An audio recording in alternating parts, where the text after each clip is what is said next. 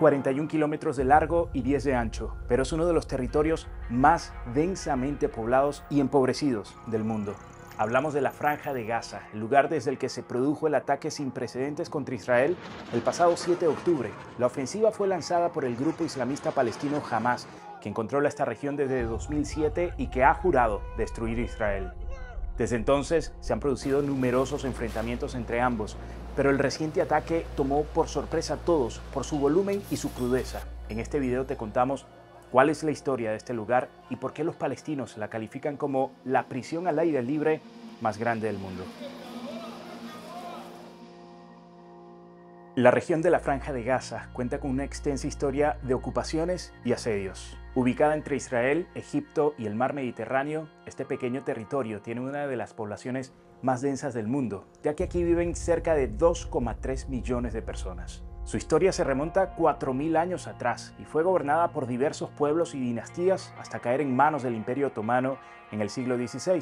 Pero el control sobre el territorio en el que está la Franja de Gaza volvió a cambiar de manos en 1917, cuando los británicos derrotaron al Imperio Otomano al final de la Primera Guerra Mundial. Fue durante esta época cuando se intensificaron las disputas entre judíos y musulmanes en esta zona, principalmente por una doble promesa por parte del Reino Unido.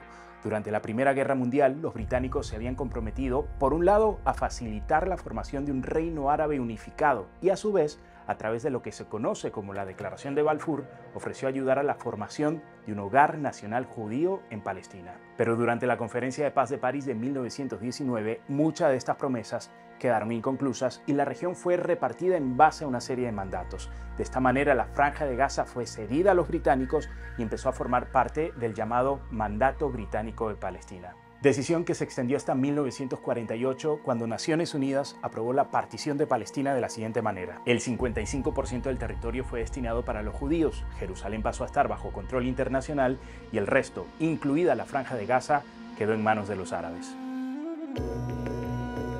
Así es como nace el Estado de Israel en 1948, lo que desembocó automáticamente en la Primera Guerra Árabe-Israelí, este conflicto provocó cientos de miles de refugiados palestinos y una gran parte terminó asentándose en la franja de Gaza, lo que marca una de las razones por las que comienza a convertirse en un territorio tan densamente poblado. Pero tras la firma de un armisticio, Gaza pasó a ser ocupada y administrada por Egipto hasta la Guerra de los Seis Días en 1967. En este conflicto Israel venció una coalición árabe y Gaza, el Sinaí, Cisjordania y los Altos del Golán pasaron a manos israelíes. Desde aquel momento se produjeron diversas intifadas o levantamientos de los palestinos contra los israelíes. La primera fue en 1987, precisamente cuando se funda el grupo islamista Hamas, que se traza como objetivo principal la destrucción de Israel y la creación de un Estado islámico.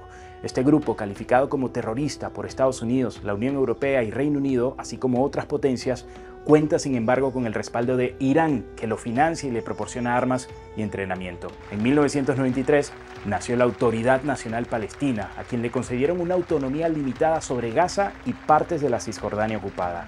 Pero en 2007, tras una segunda intifada, la Autoridad Nacional Palestina recibió un duro revés después de que jamás consiguiera la victoria en las elecciones palestinas esto generó un duro enfrentamiento entre Hamas y el partido político Fatah, liderado por el presidente de la ANP, la Autoridad Nacional Palestina, Mahmoud Abbas.